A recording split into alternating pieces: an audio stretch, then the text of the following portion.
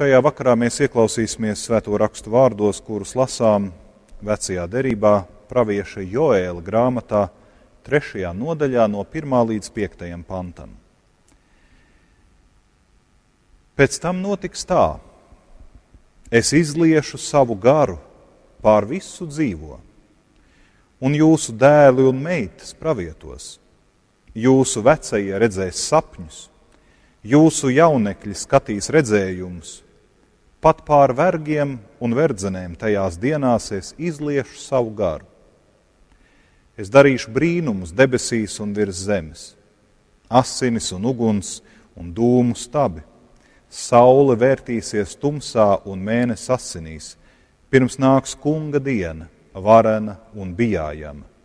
Tad paglāpsies visi, kas piesaugs kunga vārdu. Tie ir svēto rakstu vārdi. Pazīstu kādu cilvēku, kurš itin bieži brīžos, kad ir jāplāno nākotne, bet situācija nav skaidri paredzama, mazliet ironiski un ar zinām humoru mēdz piebilst, ka mums ļoti trūkstot praviešu. Respektīvi cilvēku, kas būtu apveltīti ar īpašām spējām ieskatīties nākotnē, un pateikt, kas mūs tur sagaida. Tad mēs varētu lēmumus pareizos pieņemt, ir dzīvot mierīgāk. Taču patiesības labad jāsaka, ka pravietis Bībeles izpratnē nav vienkārši nākotnes pareģis. Vēl vairāk vecajā derībā Dievs nepārprotami vēršas pret jebkura veida mēģinājumiem savas dzīves izvēles balstīt kaut kādu pareģu vai zīlnieku nākotnes redzējumos. Tā vietā Bībele vienmēr ir uzsvērusi, ka drošības sajūtai par savu dzīvi un turpmāko likteni būtu jābūt pamatotai paļāvībā uz savu radītāju. Viņa klātbūtni ikdienā, dienā, viņa vadību ikdienā un viņa apsolījumiem. Tādēļ pravietis Bībelē nekad nav vienkārši kāds nākotnes, eh, pravietis Bībelē nekad nav vienkārši kāds nākotnes pareģis, bet gan cilvēks patiesībā, kurš zina Dieva gribu. Proti, kas ir tie standarti, principi un likuma sakarības, saskaņā ar ko cilvēkam Dieva radītajā pasaulē jādzīvo. Savukārt nākotnē pravietis spēj ieskatīties tikai tādā mērā, ka viņš zina un nojauš, ar ko var beigties vieglprātīga dieva gribas ignorēšana. Varētu sacīt, pravietis ir cilvēks, kuram ir dieva gars. Jeb citiem vārdiem, viņam ir pieejams pareizais saturs. Viņam piemīt pareizā izjūta par dzīvi. Viņš instinktīvi jūt jebkuras atkāpes no optimālā līdzsvara un brīdina, kad šīs atkāpes kļūst individu vai sabiedrību apdraudošas. Tā piemēram, vecajā derībā, otrajā ķēniņa grāmatā mēs varam lasīt, Un kungs liecināja pret Izrēlu un Jūdu ar visiem saviem praviešiem un redzētājiem, sacīdams: Atgriezieties no sava ļaunā ceļa un pildiet manus baušļus un likumus, pēc bauslības, ko es pavēlēju jūsu tēviem un ko es jums darīju zinām ar saviem kalpiem praviešiem. Bet tie neklausīja un spītējās stūrgalvīgi, tāpat kā viņu tēvi, kuri neticēja kungam savam dievam. Tie atmeta viņa likumus un derību, ko viņš bija noslēdzis ar viņu tēviem, un liecības, ko viņš tiem bija devis. Tie dzinās pakaļ elkiem, paši kļūdami par tukšību, un darīja kā apkārtējās tautas, par kurām kungs bija pavēlējis, nedariet kā tās. Savukārt pravietis Hozeja ir ļoti tiešs un norāda uz kādām ļoti konkrētām ļaunuma izpausmēm. Klausieties kunga vārdu, Izraēla dēli. kungam ir strīds ar zemes iemītniekiem, jo nav patiesības un uzticības, un nav dieva atziņas uz zemes. Lādes, krāpju un slepkavo, zog un laulību pārkāp, ķildojas vien un asinis atriebi ar asinīm. Šeit pie Hozejas ir svarīgi pamanīt, ka pravieša piesauktā dieva atziņa ir cieši saistīta ar patiesību un uzticību un spēju sadzīvot vienam ar otru, spēju dzīvot kopā, nedarot viens otram pāri. Tā ir Dieva atziņa. Pavisam skarbi to vēlreiz Dievs norāda arī caur pravietu Amosu. Es nīstu un nicinu jūsu svētkus, man jūsu sapulču smarža riebi. Kaut jūs man dedzināmos upurus pienesat, jūsu labības dāvanas es negribu. Uz jūsu treknajiem miera upuriem es nelūkošos, prom no manis jūsu dziesmu troksni un jūsu stīgu skaņās es neklausīšos. Lai rit kā ūdeņi tiesa un taisnība, kā mūžīgs strauts. Cilvēkam, kuram ir dieva gars, tā tad ir pareiza izjūta par dzīvi kas ir tas labākais, optimālākais veids, kā dzīvot šajā pasaulē. Un kā jau dzirdējām, reliģiskā attribūtika un leksika nebūtu nav tas īstais un gala mērs. Pravietis ir cilvēks, kurš redz dzīvi tādu, kāda tā ir, bez izskaistinājumiem. Viņš ļoti skaidri zina, ko viņš meklē un viņš ignorē jebkurus mēģinājumus novērst uzmanību vai aizmiglot skatu. Varētu pat teikt tā, pravietim patiesība ir pati realitāte. Mēs ikdienā pārsvarā darbojamies ar tādām konstruētām patiesībām. Dažkārt apzināti, dažkārt neapzināti manipulētām informācijas plūsmām. Bet pravietim īsta patiesība ir viena. Tā ir realitāte pati. Un šeit mēs nonākam, manuprāt, pie ļoti svarīga jautājuma. Kurš drīkst būt pravietis?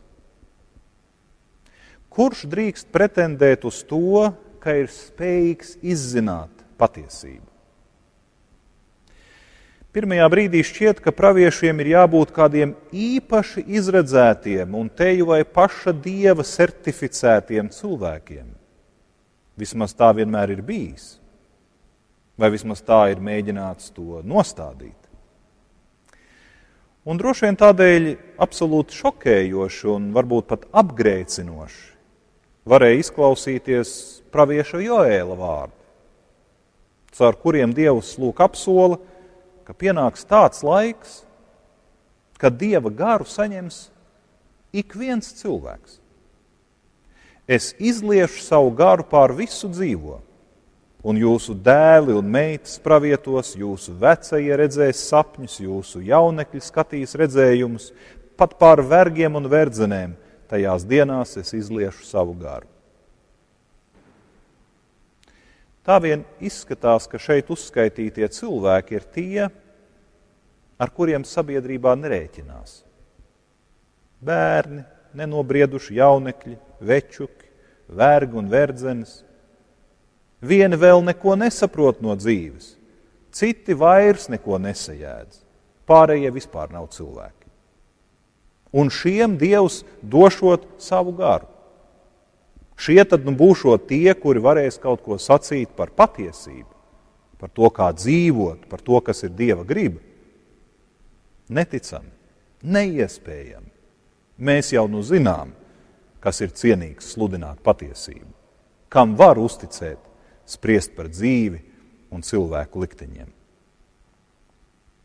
Tas mazliet atgādina režisora Kventīna Tarantīno filmu ja kāds ir redzējis, atsvabinātais Django. Filma vēstīja par notikumiem 1858. gadā, divus gadus pirms Amerikas pilsoņu kara, kad izšķīrās vergu un pašas verdzības tālākais liktenis. Lūk, kāds atlīdzību mednieks, baltais, ir izpircis un atsvabinājis kādu vergu, nēģeri vārdā Džango, lai tas viņam palīdz atrast un sodīt kādus noziedzniekus. Džango savukārt vēlas atrast un atbrīvot savu sievu, ar kuru pirms kāda laika tika izšķirts. Nu, lūk, viņi vienojas šī uzdevuma veikšanai un kļūst par līdzvērtīgiem partneriem un ceļabiedriem. Bijušajam vergam tiek sagādāts pienācīgs drēbes un zirgs, un viņi dodas ceļā aizvien tālāk uz dienvidu štatiem, kas ir pazīstami ar savām vergu plantācijām un ilgstošajām verdzības tradīcijām. Kādu dienu viņi ierodas nelielā pilsētiņā, baltais vīrietis brauc zirga pajūgā, nēģeris jāja viņam blakus zirgā, zirga mugurā. Ik viens, ko viņi sastopas savā ceļā, viņus ieraugot, burtiski sastingst. Viņi nekad, nekad savā mūžā nebija redzējuši melno cilvēku pieklājīgi apģērbušos jājam zirga mugurā. Un izrādās viņa nebūtu par to nepriecājas. Pilnīgi visiem, kuri viņus sastop, tā šķiet absolūta zaimošana. Viņiem tā liekas dieva iedibinātās kārtības graušana, sacelšanās pret to, kas ir labs un pareizs šajā pasaulē. Tik tālu filma. Bet, diemžēl, jāsaka, ka tā nav ne 200, ne 100 un pat ne 50 gadus veca pagātne. Tā joprojām ir tagadne. Šāda domāšana mūsos ir joprojām. Ik viena sabiedrība, ja vien apstākļi un situācija to ļauj, ātri vien atrod atsevišķus individus vai ļaužu grupas, uz kuru rēķina iedzīvoties, kurus nicināt un kurus uzskatīt par otrās šķiras un, ja vispār, cilvēkiem. Ļoti ātri mēs iemācāmies argumentēt, kādēļ konkrētiem cilvēkiem ir jāliedz viņiem pienākošās cieņa un gods, kādēļ viņiem nedrīkst būt tādas pašas dzīves iespējas un izvēles kā visiem citiem. Es domāju, mūsu sabiedrībā joprojām ir pietiekami daudz dažādu jomu, kurās ieraudzīt kādu noteiktu cilvēku liktos tikpat šokējoši, kā 19. gadsimta beigās ieraudzīt nēģeri zirgā. Bet, paldies Dievam, tas iet mazumā pienāks diena, kad Dieva gars tiks izliets pār visiem cilvēkiem. Pienāks diena, kad mēs atskārdīsim pavisam skaidri, ka pareizā izjūta par dzīvi, vērtībām un savstarpējām attiecībām nepiedara ekskluzīvi kādiem izredzētiem individiem, grupām vai organizācijām. Ļoti zīmīgi, ka kaut ko līdzīgu jau mēs varam atrast arī mūsu pašu Lutriskās baznīcas ticības apliecības rakstos. Proti, Šmalkaudas artikulos 12. sadaļā par baznīcu. Kā mēs zinām, tajā laikā, reformācijas laikā, notika ļoti spēcīga polemika par dažādiem garīgās dzīves jautājumiem. Tad, lūk, atbildot uz kādām ambīcijām, ka šajā pasaulē ir kādi īpaši cilvēki un īpaša organizācija, kas vienīgie zina, kas ir patiesas vērtības, kur mājo dieva gars un kas ir īsta baznīca. Reformatori atbildot šiem cilvēkiem diezgan skarbi raksta. Mēs neatzīstam, ka viņi būtu baznīca, un viņi arī nav un mēs negribam dzirdēt, ko viņi baznīcas vārdā pavēla vai aizliedz. Jo katrs septiņgadīgs bērns, paldies Dievam, zina, kas ir baznīca. Proti, svēti ticīgie, āvis, kuras dzird sava gana balsi. katrs septiņgadīgs bērns zina, kas ir patiesība. Nu, visticamāk, septiņgadīgie bērni varbūt nav domāti gluži burtiski, bet tik ir tāds tēlains izteiksmes veids, lai pasakītu, ka spriest par to, kas ir vai nav īsta baznīca, ka tā nav tikai ekskluzīvu, pašu pasludinātu ekspertu prioritāte. Ik viens saprātīgi domājošs cilvēks, kuram pašam ir garīgās dzīves pieredze, drīkst izteikt savu vērtējumu un spriedumu. Tolaik, 16. gadsimtā, es domāju, daudz acīs Luters un viņa sekotāji bija tādi nēģeri zirgos. Kaut kas nedzirdēts, neiedomājama uzdrīkstēšanās nostāties pret šķietami paša dieva iedibināto kārtību, pret to, kas labs, pareizs un svēts. Un redziet, līdzīgi ar patiesību un pravietošanu.